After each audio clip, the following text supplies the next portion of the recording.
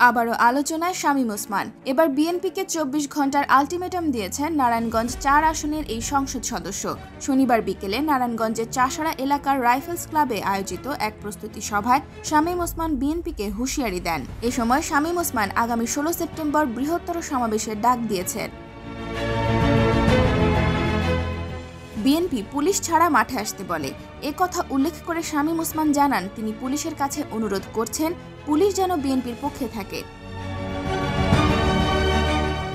এ সময় বিএনপিকে আলটিমেটাম দিয়ে শামীম ওসমান বলেন, চব্বিশ ঘণ্টার মধ্যে বিএনপিকে নারায়ণগঞ্জ ছাড়া করা হবে। সংসদ সদস্য শামীম ওসমান বলেন, নারায়ণগঞ্জে এখন রাস্তায় দাঁড়িয়ে জাতির পিতার কন্যাকে গালি দিয়ে মিছিল করে, তাতে কোনো আপত্তি নেই, কিন্তু তারা যে ভাষায় গালি দিচ্ছে তা মেনে নেওয়া যায় না। সাংবাদিকদের শামীম ওসমান বলেন, এমনিতেই তাকে গডফাদার বলা হয়। বিএনপি জামায়াতের কাছে ডাইরেক্ট মেসেজ, যারা জাতির পিতার কন্যাকে গালি দিচ্ছেন, তারা যেন সাবধান হয়ে যান। এত কঠোর জবাব দেয়া হবে, তারা উঠে দাঁড়াতে পারবেন না। বিএনপির আন্দোলন প্রসঙ্গে তিনি বলেন, বিএনপি অনেক লাফালাফি করছে।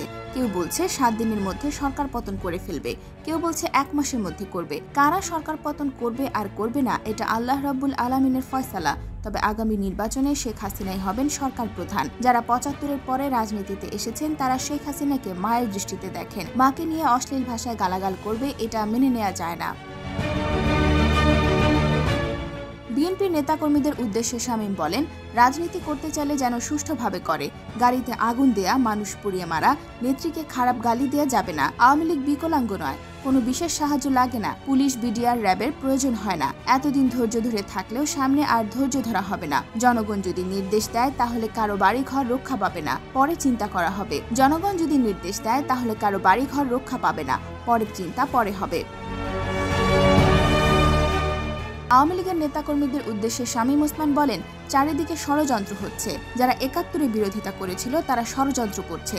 সামনে খারাপ সময় আসছে, এই সময়টাতে নেতাকর্মীদের ঐক্যবদ্ধ থাকতে হবে। IBTV, USA, New York.